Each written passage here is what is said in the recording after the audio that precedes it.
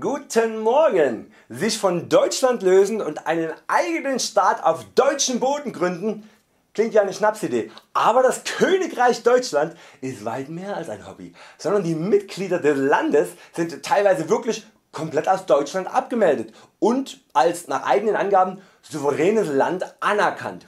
Für mich war das komplett neu und ich war richtig überrascht und interessiert und habe mich umso mehr gefreut, dass sich die drei Menschen aus dem Königreich Deutschland die Zeit genommen haben und meine Fragen beantwortet haben. Ich wünsche Euch viel Spaß mit dem Interview. So, wir sind wieder beim Rohkostpotluck und heute bin ich zusammen mit drei Mitgliedern des Königreich Deutschland. Habe ich das richtig ausgedrückt? Ja, ja. korrekt. Ja. Königreich Deutschland. Also bei mir, wo mir das gesagt wurde, habe ich gedacht, das kann nur ein Witz sein. Aber dann hat mir der eine seinen Personalausweis gezeigt Nein. und der, der unterscheidet sich. Willst du den zeigen? Ja, zeig mal. Identitätskarte nennt sich das. Ach, das nennt sich natürlich nicht Personalausweis, weil das wäre dann... ja kein Personal mehr, ne? Genau, ah, ja, wir kommen ja gleich zu den Ideologien. Ich weiß ja überhaupt noch nichts vom Königreich Deutschland. Und ja, wir haben dann wirklich hier äh, so, so einen richtig ordentlichen, nicht Personalausweis, sondern halt ID-Karte. Und ähm, ja, und äh, da, da muss ich jetzt erstmal fragen, äh, wer ist denn der König? Peter Also, wir haben König eigentlich keinen. König, sondern obersten Souverän. Okay, okay.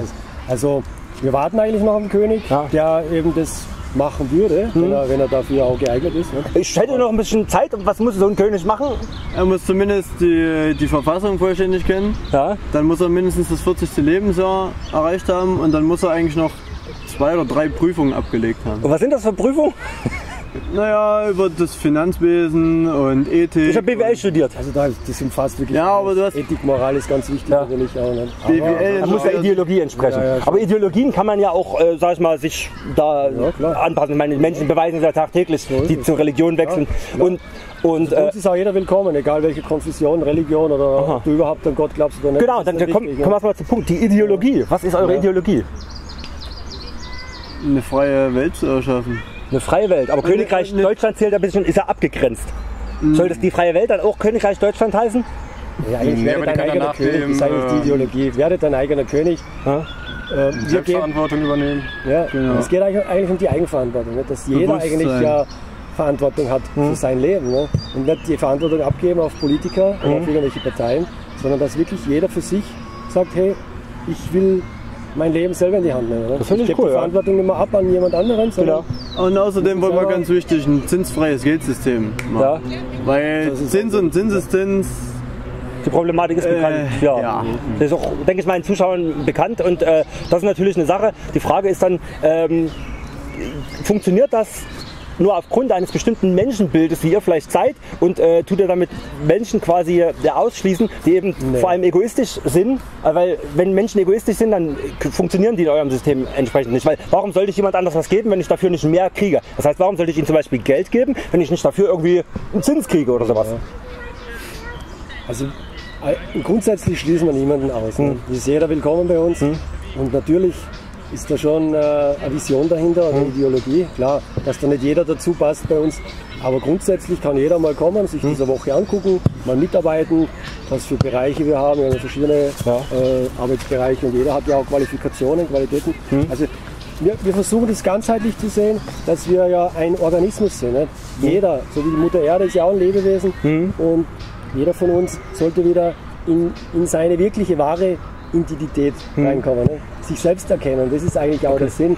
Nicht nur das Königreich, Ja. jetzt, sondern jeder Einzelne eigentlich ist wichtig. Ne? Und warum, Jeder- warum braucht es dann ein Königreich? Warum könnt ihr nicht das einfach, äh, warum könnt ihr nicht einfach ein Buch schreiben, wo das dann halt drin steht und dass jeder zu sich selbst finden sollte? Oder Kurse geben oder sonst was? Warum ist jetzt so ein Königreich notwendig? Warum ist hier so eine, so eine Instanz so notwendig? oberster Souverän hat das eigentlich schon so ein bisschen provokant gemacht, mit Absicht eigentlich. Ja, auch aus dem geschichtlichen Hintergrund her, nicht aus der Nazi-Zeit und so weiter, dass die Deutschen, das deutsche Volk, das ja wirklich ein sehr friedliches Volk ist eigentlich und äh, rechtschaffen und Arbeit, Arbeitervolk. Auch sieht man, wie willkommen wir die Flüchtlinge heißen, auch, Ja. obwohl es auch immer ein bisschen negativ dargestellt wird. Also er hat einfach versucht, das wirklich, dass man von dem Film mal wegkommen, ne? so immer dieses äh, Nazi und Ja, gut, aber das ist, nicht immer, ist, ist, nicht, ist ja nicht immer was Schlechtes. Ne? Also das war Ja, also ja. eigentlich schon Provokation, mit unserer Ja. Königlichen Reichsbank.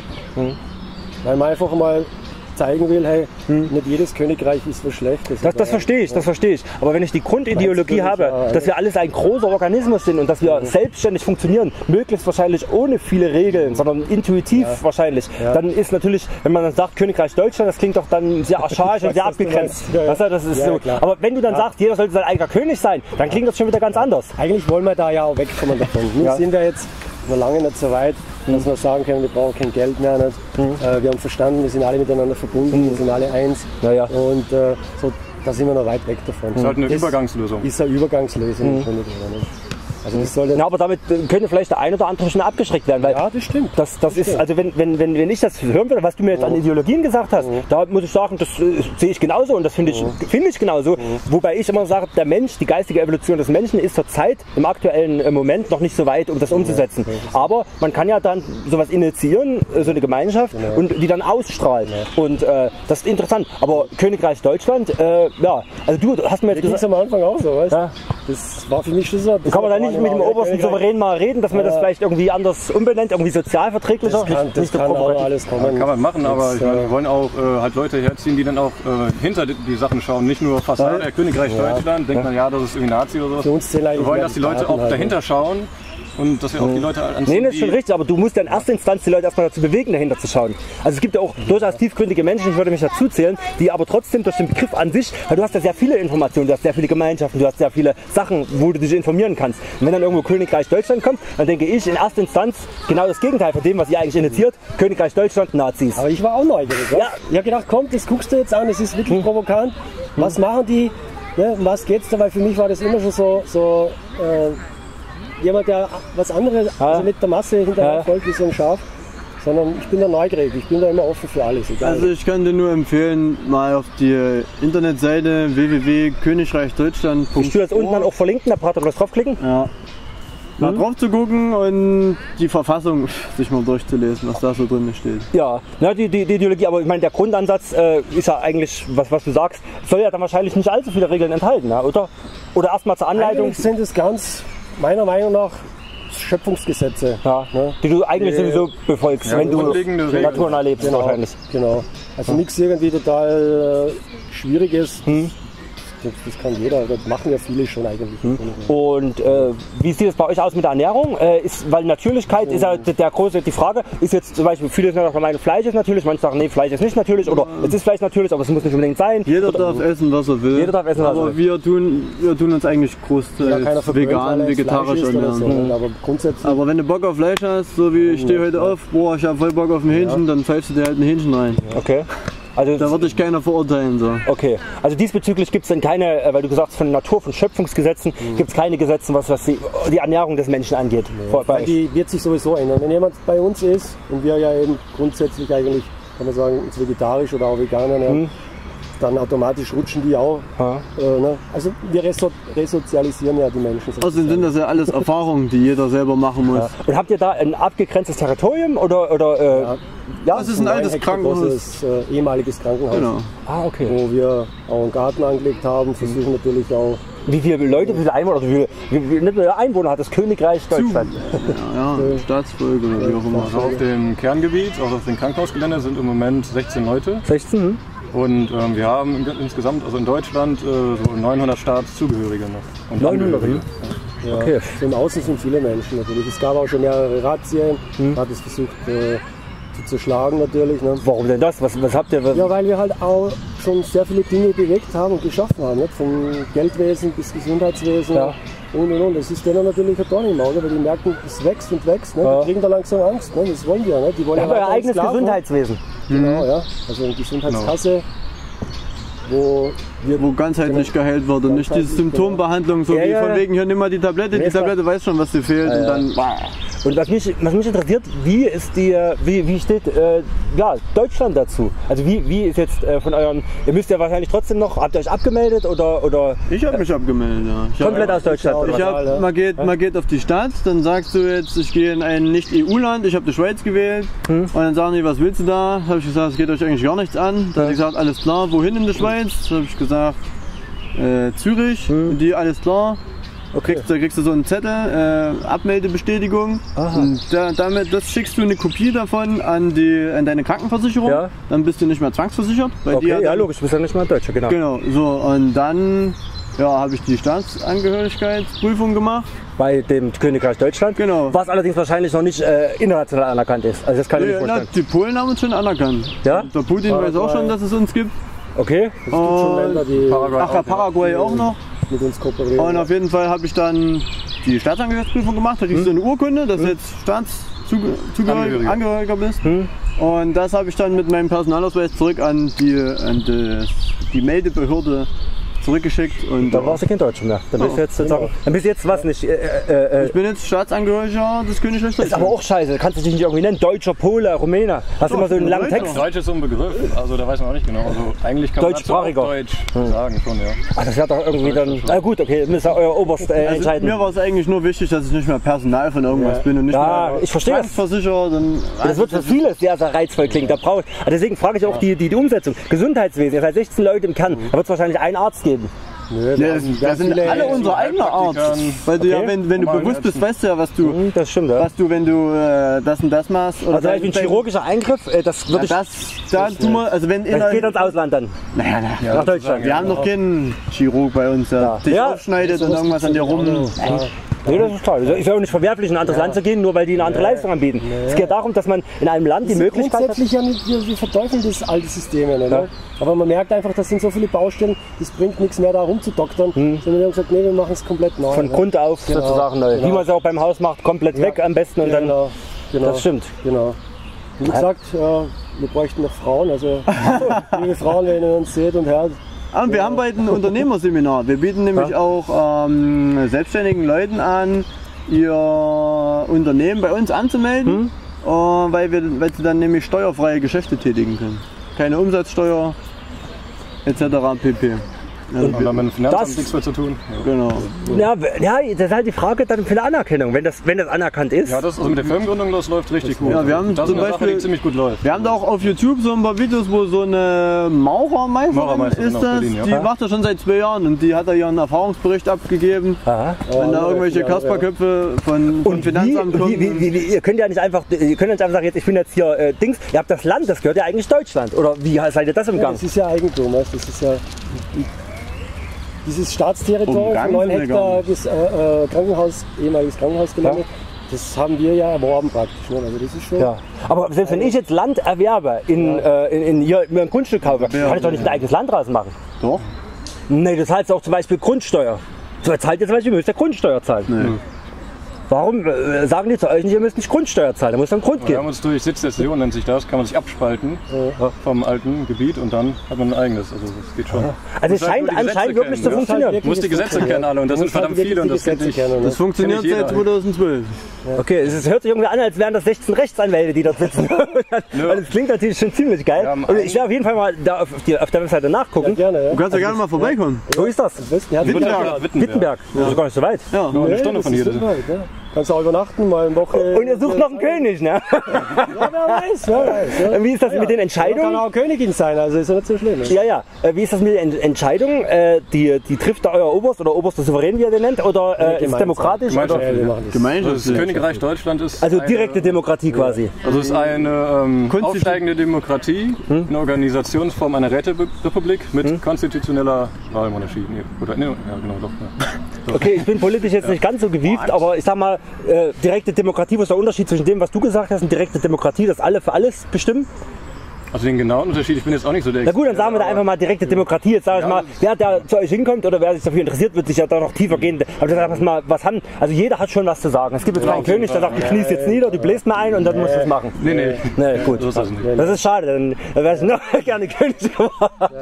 Also Nee. unser König, der jetzt immer als König angesehen wird, so im Außen halt, der lebt eigentlich am, am, am einfachsten von uns allen. Eigentlich. Also der hat nicht mal ein eigenes Konto. Der kommt möchte auch- immer und fragt immer, ich brauche jetzt wieder mal ein bisschen Geld, was weiß ich. Also Der möchte auch gar nicht als König oder oberster King Peter nur- der Erste will da gar nicht Ja, ja. angeredet werden. Er will einfach. Ja, deswegen, ey, hört auf mit dem Königreich. Das ist, ihr habt so eine gute Idee und das ist so geil, klingt das eigentlich. Und wenn das wirklich realistisch, ich meine, ich rede mit dreien, die wahrscheinlich eine rosarote Brille haben, die das mir so machen. Aber ich meine, es ist ja de facto, dass, dass ihr mit dem Unternehmen, was jetzt gesagt es anerkannt wird und so weiter. Also irgendwo scheint das schon zu funktionieren. Es ist für, für manche noch abstoßend, aber Ja. für viele auch anziehend. Ne?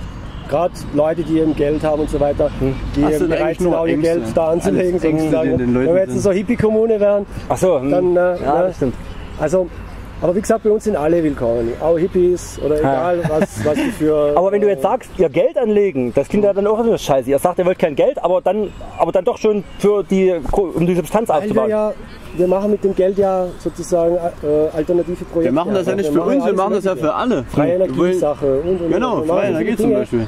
dass wir ja für die. Menschheit sozusagen ja einsetzen. Ne? Mhm. Das ist ja, wir, wir arbeiten nicht aus dem Ego heraus oder handeln aus dem Ego heraus, sondern wir wollen ja wirklich was ein Spielfeld sozusagen für Menschen, die sagen, ich will aussteigen, ich möchte anders leben. Ich, Ja, und jetzt ist die Frage, wie weit ist dann die, die Range, wie, wie, weit, wie frei dürfen denn die Leute dann leben? Weil es gibt ja mm, gewisse Sachen, äh, wo es dann, wo, die, wo es die Meinung sicherlich auch auseinandergeht. Ja, wir äh, haben- fängt bei sexuellen Ja, Praktiken wir haben an. schon so ein, so ein, in der Verfassung steht doch klar, dass die Sitte zu achten ist. So. Was ist die Sitte? Also da wird mich bei mir mich eng mit König. deine eigene, wenn ich jetzt eine Frau habe, mit der spreche ich ja drüber. Was Ja. möchtest du und was Ja. möchtest du nicht? Genau. Ne? Und wenn ich das überschreite, natürlich ihre Grenze, Nee, das ist klar, ja, ja. dann, äh, also es ist Aber einvernehmlich ist bei euch alles erlaubt? Bei Sexualität? Naja, also ich meine, die Freiheit. Äh, Solange alle beide damit einverstanden sind, warum nicht? Ja, das ist der normale Menschenverstand, aber es kann ja sein, dass Was jetzt das Kinderpornografie oder was ist, diese Dinge natürlich nicht, äh, das, Ja. das sind ja ganz, das weiß Das stimmt, man ja. die das Kinderpornografie, in da habe ich jetzt gar nicht dran gedacht, aber das stimmt. Also- Wenn jetzt einer drauf steht mit Kindern, ja. gut, Kinder können auch nicht frei entscheiden. Nee, da, da, selber. da das seid ist ja auch so. Ja, ja, ja. Ne? Nee, also, Also, aber wenn jetzt jemand Menschen nicht homosexuell ist, Ja gut, homosexuell brauchen wir nicht reden, ist klar. Aber ich rede an solche Dinge, wenn jemand zum Beispiel das gerne möchte, dass ihm Körperteile abgeschnitten werden und äh, oder dass er äh, So Sachen, die den Kannibali- körperlich oder äh, äh, Kannibalismus oder sowas. schaden, die werden, halt- sind halt nicht erlaubt. das ne? zählt ja schon unter Schwarzmagie, das ist ja schon so. ja, aber ich meine, wenn das Menschen nicht, wir resozialisieren die nicht. Wir nehmen die auf und dieses also ihr habt schon gewisse Grenzen. Ihr habt schon gewisse Ja, Grenzen. Natürlich. Okay. Ja. Ja, natürlich. Das ist halt immer die Frage. Äh, wenn Leute, jetzt egal wie bizarr das ist, wenn Leute wirklich äh, das für sich als normal empfinden, ähm, ja, wie weit du dann sagen kannst, nö, das ist nicht normal. Das darf ja jeder, auch im Gesundheitshaus zum Beispiel Hm. bei uns. Es gibt ja auch Menschen, die rauchen noch zum Beispiel. Die können dann das also nicht verbieten. Wenn er der Meinung ist, er will jetzt noch unbedingt seiner Gesundheit schaden, na gut, das ist Genau, wie ist es eigentlich mit äh, Drogen, Alkohol und sowas? Können wir ja auch nicht verbieten, ne, letztendlich. Also Naja, wir so- bei uns hier leben, Verbot auf dem Gelände, also sagen wir, bei uns auf dem Gelände ist halt Rauchverbot.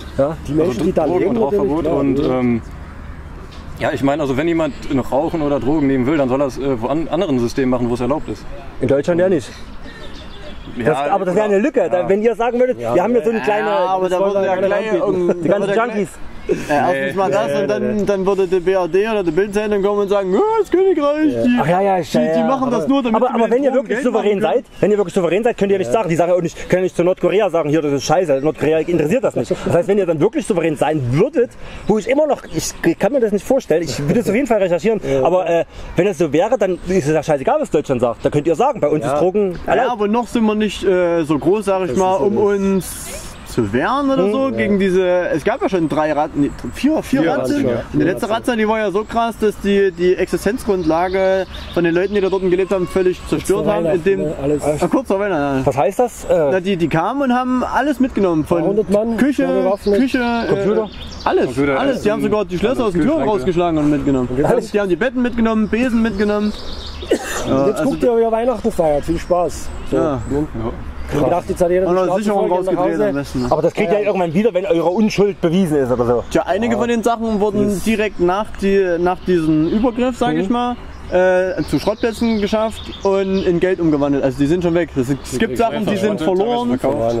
Ja? Und ja, ist der Aber wo ist die Grundlage? Wo ist die Rechtsgrundlage? Wenn sie, wenn ihr theoretisch das souverän ist, das wärt, ist diese Illusion, die die Leute in der BRD noch haben, dass das ein Rechtsstaat ist. Das ist aber gar nicht, das ist nicht so. Vereinigung im Grunde genommen. Weil es ist eine eingetragene das GmbH. Die Polizei ist auch eine eingetragene GmbH. Die Bundeswehr. aber eine eingetragene GmbH braucht mindestens 50.000 Eigenkapital. Und Ich glaube, in Deutschland haben wir Milliarden von Schulden. Das Ja, das, heißt, das ist ja egal.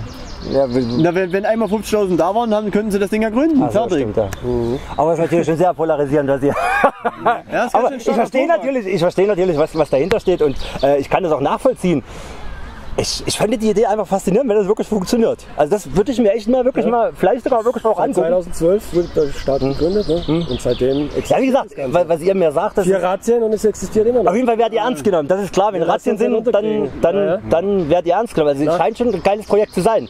Königreich Deutschland. Gibt es äh, ähnliche Sachen in, in Deutschland noch, was ihr kennt? Gibt es Nichts Gleichwertiges. Also ein paar Also, kleine Das gesagt, Staaten sowas wurden schon gegründet, aber die sind dann äh, Eingestampft worden. Ja, genau, eingestampft. Na, da, da reicht dann eben nur eine Razzia und dann ist die Sache zerschlagen. Und, was ist, und, und äh, um euch zu wehren, wäre zum Beispiel vielleicht der Aufbau einer Armee notwendig. Oder Ja, ja, also wir wollen jetzt hier keinen Krieg anfangen. Genau, wir wollen, wir wollen ja parallel zum System Ja, ein eine friedlich friedliche was Revolution. aufbauen, ja. Friedliche Wir Revolution. wollen ja nicht sagen, ey, das ist scheiße, was du da machst, Mann, hör auf mal mit dir und zerrt ihn hier mit einer Kette Nee, nee. Hals Wir zu uns ja rein, sondern wir sagen, ey, hier, guck mal. Wir sind nicht gegen was, Wir leben das praktisch Neues. vor. Wir sind Ja.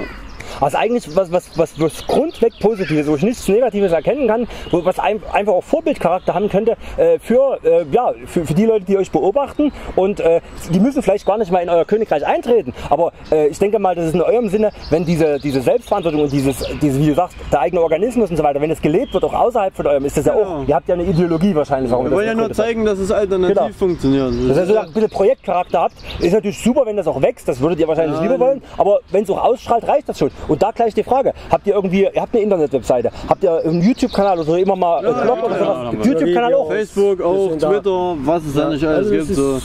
und kann man alles, NSA weiß Bescheid. verheimlichen nichts. Da findest du alles. Das muss auch sein. Offenheit und Transparenz ist gerade das, was in dem System halt auch ein bisschen fehlt. Genau. Genau. Genau. Wunderbar, dann bedanke ich mich für dieses Ja, echt interessante Gerne. Interview mit Ja, euch, danke. Königreich Deutschland. Und ich schaue mal, ob ich, ob ich irgendwann vielleicht König von Deutschland werde. Alles klar, tschüss. Okay, ciao. Was haltet ihr davon? Von der Grundidee, der Umsetzung und der Zukunftsprognose? Könnt ihr euch vorstellen, ins Königreich Deutschland zu wechseln? Ich bin total gespannt auf eure Kommentare. Macht's gut, euer Christian. Ciao.